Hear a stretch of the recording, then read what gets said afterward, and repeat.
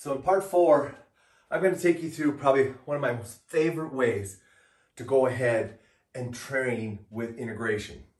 And it's using hops and swings.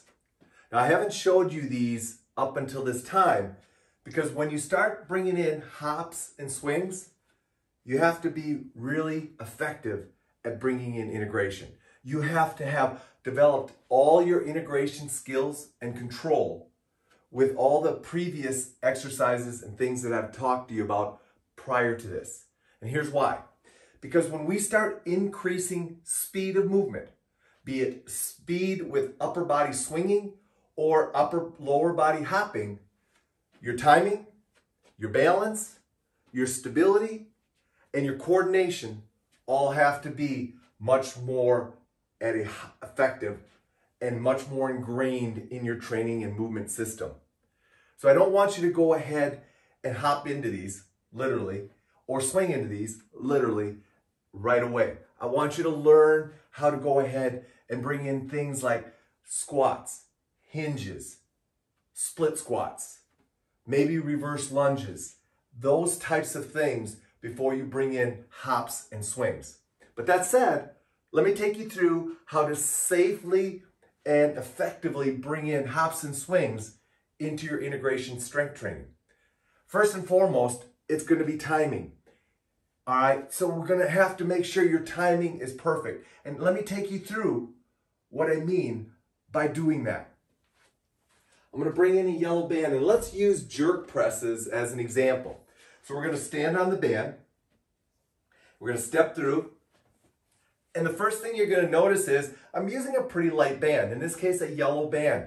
I highly recommend that you keep your resistance low so that you can go ahead and work on speed and gradually increasing your speed before increasing load. But always, always realize that load is there. You can always increase load. So let's go ahead now and let's talk about first thing, you got to have timing. So remember, you want to go ahead and be able to go ahead, first of all, and do a simple push press. Now, if you can do that, you can go ahead and do a split squat push press. You could go ahead and do a step push press. All of those have to be in place first before you go to what we call a split jerk press, which is going to be that. Now realize you have to have timing. So that means that you're going to have to learn how to load your hips and your hands and feet have to move at the same time. So timing is going to be extremely important. Make sure you bring those other movements in first.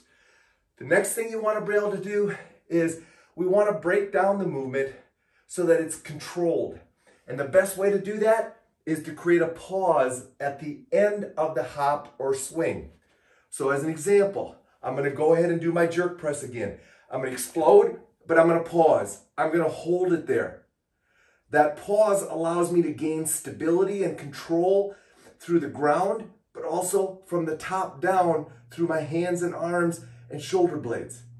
So that's the next thing. Make sure you bring in that pause. The next and most important thing is going to be to protect your band. How are you going to do that?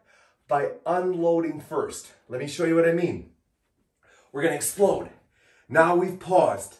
Now we're going to unload the band first, and then we're going to go ahead and bring ourselves back to our starting position. So it's explode, pause, bring and unload the band, and then go ahead and step into it. That's a really important point that you need to go ahead and make sure you incorporate.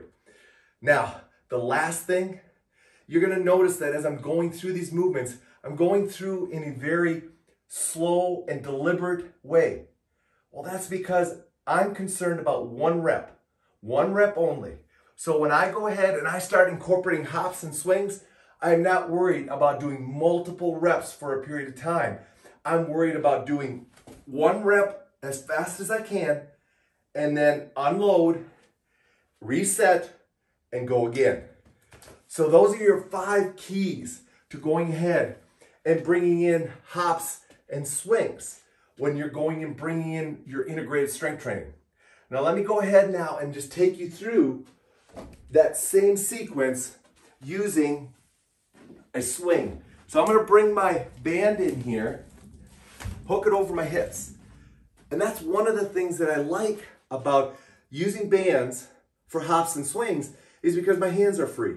I can load my hips and easily bring in, bring in hops and swings. Now, what I'm gonna do is I'm gonna go ahead and use a split squat as my lower body strengthening and my swing, I'm gonna bring in with my dowel. Why do I like to use a dowel? I like to use it because it allows me to go ahead and integrate both sides, right and left side upper extremities, and work on my timing. Plus, it's kind of like bringing in Olympic movements, you know, cleans, jerks, presses, snatches. So I like to bring in the dowel for that reason. I'm gonna go into my split squat. Dowel is gonna be here, and I'm gonna go ahead, and the first thing I've learned is I've learned how to go ahead and do a split squat overhead reach. So I've learned how to do that. So now what I'm gonna do is I'm gonna swing quick and hold. Bring the load off, come back up. Set, explode. Bring the load off, come back up and switch. I could also go ahead and do a rotational swing. A little more challenging. So I bring the dowel up here, explode, and you can see I immediately lose my balance. But that's why you want to work on it. It helps you control your balance. So let's see if we can stick it now. Here, there it is. And we bring it back. All right, so it's here, explode, unload, come back up. So that's how you can go ahead and bring in swings. Could you bring in frontal plane? Absolutely. Go here, drop down, and there again. Woo! Got to work on my balance. See, that's why I'm bringing it in. That's why I want to work on it. I'm okay with that. So I'm here, swing, and I'm bringing it back here. Quick upper body movements that I'm going to go ahead and work. Now, could you go ahead and reverse the passion? Absolutely. You could go down and you could throw it up over top.